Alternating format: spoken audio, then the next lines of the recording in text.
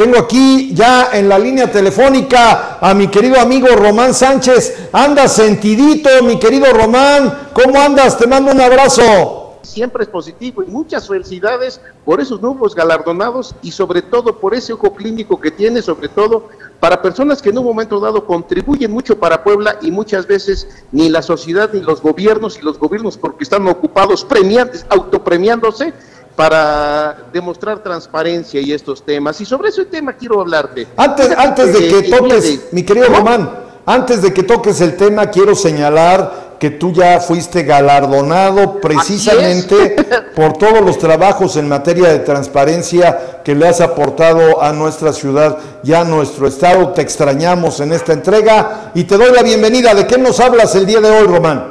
Muchas gracias. Fíjate que hace eh, el día de antier precisamente una persona que por quererse dentro de esta eh, dentro de esta visión que habla eh, Guy Debord, él, él, señala en su libro Las sociedades del espectáculo que nosotros tenemos que estarnos exponiendo ante la sociedad. Si tú no te expones ante la sociedad, si tú no subes una foto, ahora dentro de las redes sociales, este hombre lo predijo hace 60, hace 60 años que no existía nada de esto, pues prácticamente tú no existes. Es decir, existe el que se exhibe, existe prácticamente es el huevo que estamos comiendo ahorita porque lo fotografiamos y lo subimos. Y precisamente de ahí vienen varios retos que la gente se ha puesto y en uno de esos el día de antier precisamente hubo una persona que por desgracia se supone que desapareció algo así por la cuestión de la contaminación que se tiene en el río Toyac el joven vio que había mucha espuma y quiso tomar la foto, se resbaló y no se sabe todavía más de él.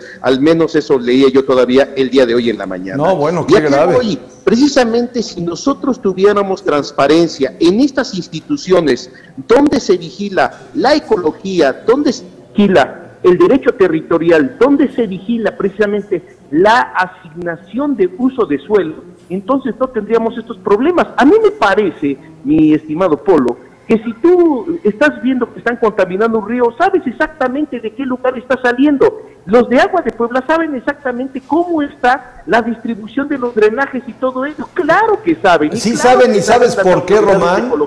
Sí saben y te voy a decir por qué.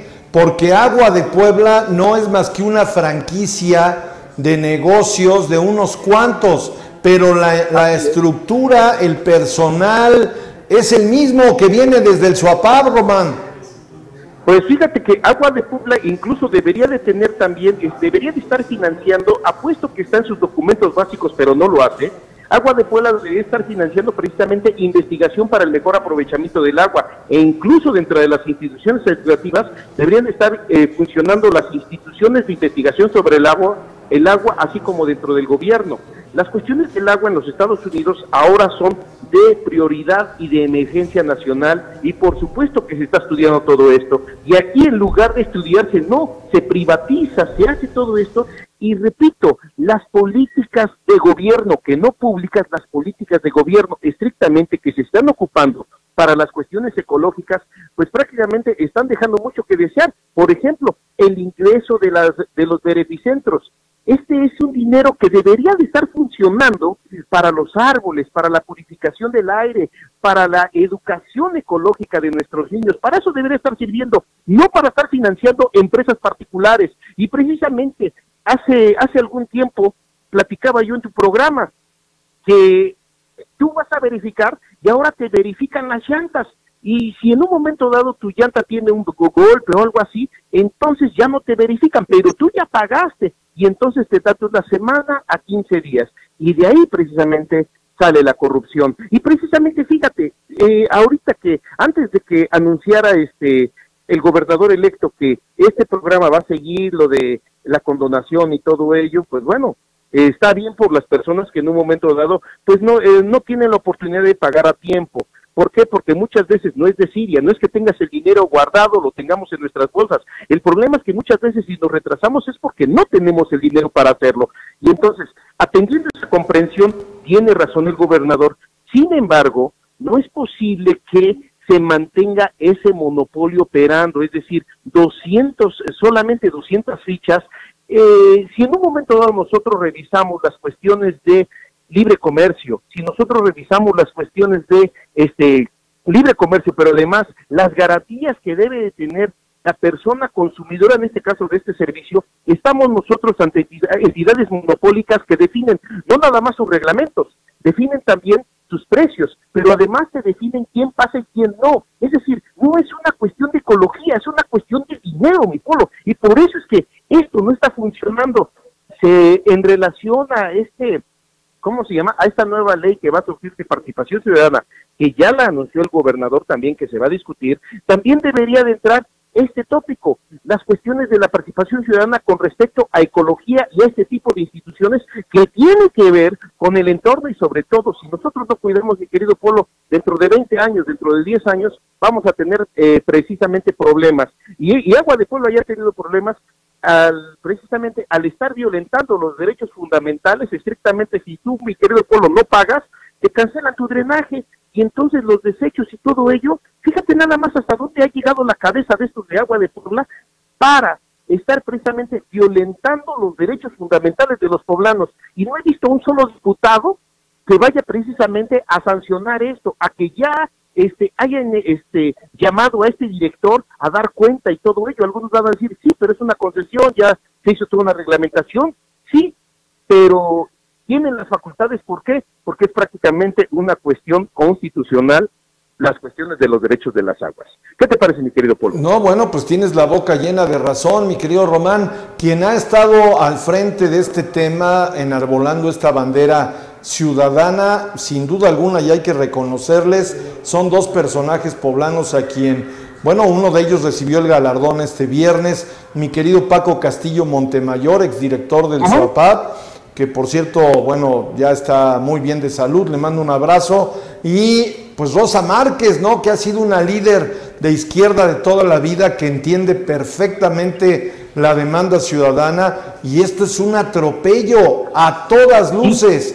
El Ayuntamiento de Puebla, el Ayuntamiento de Puebla, perdón, y con eso termino, Román, pues ya tomó una decisión histórica en cuanto a la remunicipalización del agua. Ahora le va a tocar al Congreso del Estado. Ya Miguel Barbosa, el gobernador electo, tuvo una declaración al respecto y dijo, no le tenemos miedo a remunicipalizar el agua. Entonces me parece que esto va caminando. Ahora, el tema, si me das permiso, de tus servidores municipalista, por supuesto. El tema no es, a ver, ya nos regresaron el agua. A mí me parece, Román, que esta va a ser una oportunidad de oro coyuntural para revisar todo el sistema. Traemos un sistema de drenajes estúpidamente rezagado. Ve lo que pasó en la Margarita hace semana y media, que se inundó toda la unidad habitacional.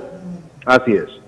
Así es, fíjate que en este tipo de luchas, acuérdate que en el sexenio pasado y en, el, y en la minigubernatura, Rafael Moreno Valle estrictamente, así como Antonio Galí Payat, criminalizaron estrictamente las luchas sociales. Acuérdate cómo se criminalizó la situación de la defensa de el marco jurídico de las juntas auxiliares, los cuales estos diputados no han tocado el tema. han dicho que van a impulsar, pero no han vuelto, no han regresado ese cuarto poder. Y en este caso en el de Castillo Montemayor criminalizaron también el tema y precisamente también este era muy fácil. Si Polo me estorba lo mando a la cárcel. No discuto no hago no hacemos el debate social para que se solucionen los problemas. No. Híjole, pues Polo la librona. privatizamos a cualquier precio eso acordémonos que el actual secretario de Gobernación era entonces el secretario de Gobernación de ese entonces. Entonces, aguas con eso porque es necesario poder revisarlo y sobre todo, si hablamos de transparencia, también transparentemos nuestros pasados este, como funcionarios y como funcionarios actuales. ¿Qué te parece, mi pueblo?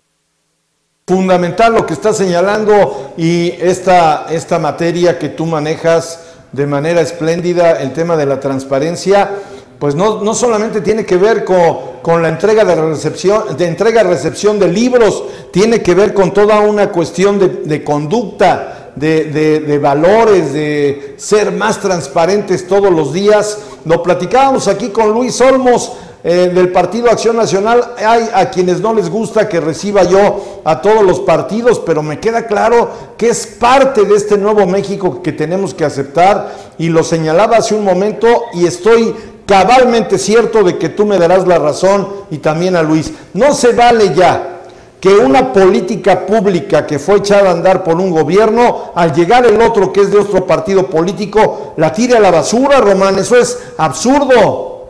Así es.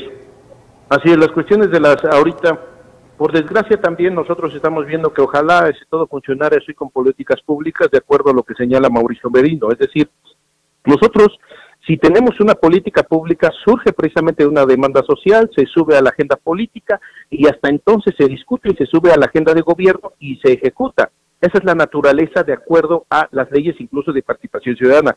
Una política de gobierno va de arriba hacia abajo y regularmente la ley de participación ciudadana del Distrito Federal señala solamente dos en las cuales no hay participación, estrictamente las decisiones hacendarias y las decisiones de gobierno.